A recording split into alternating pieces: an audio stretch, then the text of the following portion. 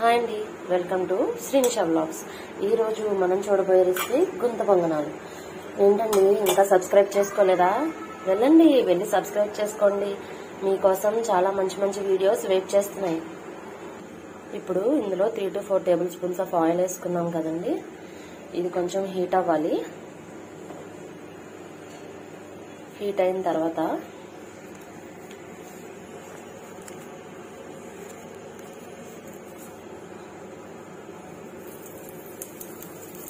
Half table spoon ఇంగువ వేస్తున్నాము. ఇంగువ అనేది కంప్లీట్గా ఆప్షనల్ మీకు ఇంట్రెస్ట్ ఉంటే వేసుకోవచ్చు లేదంటే లేదండి. నేనైతే హెల్త్కి మంచిదని చెప్పి ఎవ్రీ రెసిపీలో ఇంగువని ఇంక్లూడ్ చేస్తాను. ఇప్పుడు ఇందులో చిటికెడు పసుపు వేసుకుందాం. ఇప్పుడు ఇందులో ఒక స్మాల్ స్పూన్తో ఆవాలు అదే స్పూన్తో జీలకర్ర. ఒక స్పూన్ మినప్పప్పు. ఒక స్పూన్ శనగపప్పు. అన్నీ వేసుకోవాలి. ఇవన్నీ మనం తీసుకునే పిండి క్వాంటిటీని బట్టి యాడ్ చేసుకోవాలి. ఇప్పుడు ఇందులో కొంచెం పచ్చిమిర్చి కూడా పచ్చిమిర్చి కాదు కరివేపాకు యాడ్ చేస్తున్నాను. నేను ఇందులో పచ్చిమిర్చి యాడ్ చేయట్లేదండి ఎందుకంటే పిల్లలకి పచ్చిమిర్చి తగిలితే మళ్ళీ వాళ్ళు తినరు కదా నేను అందుకని పచ్చిమిర్చి ప్లేట్లో కొంచెం ఎండుమిరపకాయలు చిన్నగా పొడి చేసి దాన్ని యాడ్ చేస్తాను. కానీ దానికి ముందు ఇది కొంచెం ఫ్రై అవ్వాలి.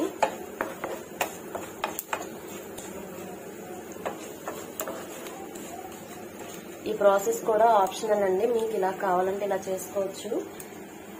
కానీ ఇలా అయితే టేస్ట్ అనేది చాలా బాగుంటుంది. ఇప్పుడు ఇందులో ఒక half tablespoon chilli flakes add చేస్తున్నాను. చిల్లీ ఫ్లేక్స్ కూడా కొంచెం మనం కారం అడ్జస్ట్ అయ్యేలా వేసుకోవాలి. లేదంటే కారం ఎక్కువైపోతే పిల్లలు తినరు కదా అందుకని. ఓకే అండి ఇది ఒక్కసారి ఇలా ఫ్రై అయిన తర్వాత మనం ఇది టర్న్ ఆఫ్ చేద్దాం. ఓకే అండి ఇప్పుడు నేను కొంచెం పులిసిన దోశల పిండి తీసుకున్నాను. అంటే మనం ప్లెయిన్గా ఉన్న దోశల పిండి కూడా తీసుకోవచ్చు. పులిసింది అయితే కొంచెం టేస్ట్ అనేది డిఫరెంట్గా ఉంటుంది. సో ఇందులో మనం సాల్ట్ యాడ్ చేసుకుందాం. మనం ఈ బ్యాటర్ దగ్గర సాల్ట్ యాడ్ చేసుకోవాలి. యాడ్ చేసుకున్న తర్వాత ఇందులో మనం ముందుగా కట్ చేసి పెట్టుకున్న ఆనియన్స్ ఇంకా కొత్తిమీర. అండ్ మనం ఇందాక రెడీ చేసి పెట్టుకున్న పోపు అనేది ఇందులోకి యాడ్ చేసుకోవాలి. సో అన్ని యాడ్ చేసుకున్నాం కదండి ఇది బాగా కలుపుకుందాం మనం. ఓకే అండి చూడండి మనం దీన్ని బాగా మిక్స్ చేసుకున్నాం కదా. ఇంకొకటి ఏంటంటే ఇందులో మనం వేసే ఇంగ్రీడియంట్స్ అన్ని ఆప్షనల్ అండి మన ఇష్టం. మన ఇష్టానికి తగ్గట్టు మనం ఇందులో యాడ్ చేసుకోవచ్చు. అవసరం లేని మానేయచ్చు. సో ఇప్పుడు నేను ఇది గుంత పంగనాలది పెనం ఒకటి తీసుకుంటున్నాను. స్టవ్ ఆన్ చేసి ఏం లేదండి ఇది అలా అయిపోయిందని చూడద్దు. ఇది బాగా యూజ్ చేయడం వల్ల అలా అయిందంటే ఇందులో ప్రతి దాంట్లోనూ వన్ ఫోర్త్ వరకు ఆయిల్ ఫిల్ చేసుకోవాలి. ఇంత ఆయిల్ అనుకోవద్దు. గుంత పొంగనాలు అన్నిటికీ ఈవెన్గా స్ప్రెడ్ అవ్వాలి కదా లేదంటే ఇవన్నీ అంటుకుపోతాయి. అందుకని చెప్పి వన్ ఫోర్త్ వరకు ఆయిల్ ఆయిల్ అనేది మనం ఫిల్ చేసుకోవాలి.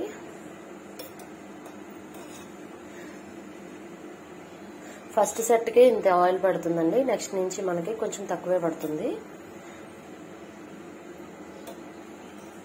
ఓకే అండి అన్నిటిలోనూ ఆయిల్ పోసాను కదా. ఇప్పుడు కొంచెం హై ఫ్లేమ్ మీద పెట్టుకొని ఇది ఆయిల్ వేడవనిద్దాం. హై ఫ్లేమ్ మీద ఎందుకంటే అన్నిటికి ఈవెన్గా హీట్ అనేది వెళ్ళడానికి. ఓకే అండి ఇప్పుడు ఆయిల్ బాగా హీట్ అయింది కదా మనం ముందుగా ప్రిపేర్ చేసుకున్న ఈ బ్యాటర్ని అందులో వేసుకుందాం. అండ్ ఇంకొకటి ఏంటంటే ఇది కంప్లీట్గా ఫుల్గా వేయకూడదండి. ఇలా త్రీ ఫోర్త్ వరకు వేయాలి ఎందుకంటే మూత పెట్టాక మళ్ళీ ఇదంతా ఉబ్బుతుంది. అందుకని త్రీ ఫోర్త్ వరకు మాత్రమే వేయాలి. ఇలా అన్నీ ఫిల్ చేసుకున్నాం అండి. చూసారు కదండి. ఇలా అన్నిటిలోని ఫిల్ అయిన తర్వాత మనం ఒక మూత పెట్టేసుకోవాలి. ఇప్పుడు మాత్రం అస్సలు హై స్పీడ్ కానీ పెట్టకూడదు. ఎందుకంటే మధ్యలో బర్న్ అయిపోతాయి చివరివి కుక్ అవ్వవు. ఇలా మూత పెట్టుకుని అవి కొంచెం రెడ్గా ఫ్రై అయ్యే వరకు ఉంచుకోవాలి. ఓకే అండి.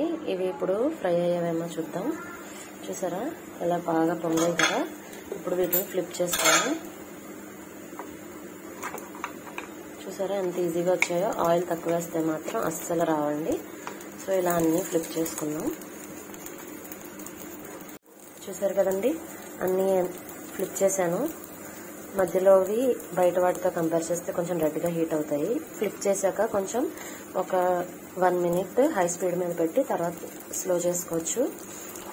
ఇవి లైట్గా ఉన్నాయి కాబట్టి మనం కావాలంటే మళ్ళీ ఫ్లిప్ చేసుకుని హీట్ చేసుకోవచ్చు.